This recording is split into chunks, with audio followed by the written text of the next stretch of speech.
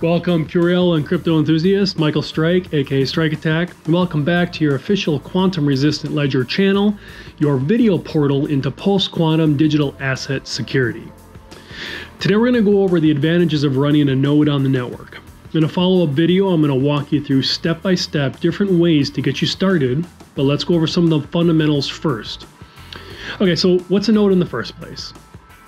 A node is a service that runs on a server or any computer that can be run by anyone with internet access and minimal hardware in order to support the network through validating or rejecting submitted transactions and then relaying those results to other nodes through a peer to peer protocol.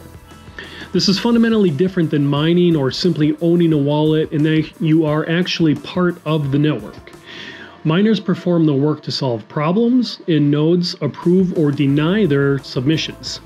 In other words, nodes, had, nodes have a direct vote on what is approved to be written to the blockchain. So it's also worth mentioning that mining is generally referred to when talking about proof of work algorithms such as CryptoNight, which the goal is to cryptographically solve difficult puzzles. If your node happens to find a proof of work solution, it keeps the entire reward. In proof of stake, instead of miners, there are validators. The, validator, the validators will stake or lock up their crypto in the blockchain, and while the rules on how rewards are given are different from implementation to implementation, the more staked generally means a higher reward. As you know, one of the core values of blockchain is decentralization. If you use a pool, you're relying on them to not only be available and online, but also to properly relay your transactions to the network. But if you run your own QRL node, you don't need anybody except other nodes to submit your transactions and the transaction of others, which reduces your overall counterparty risk. Many of us have also heard of the concept of zero trust or trustless consensus. In crypto land, running a node is a little bit analogous to a declaration of crypto sovereignty. While you're still a part of the network, you're acting on your own behalf and taking an active role in pioneering blockchain technology forward.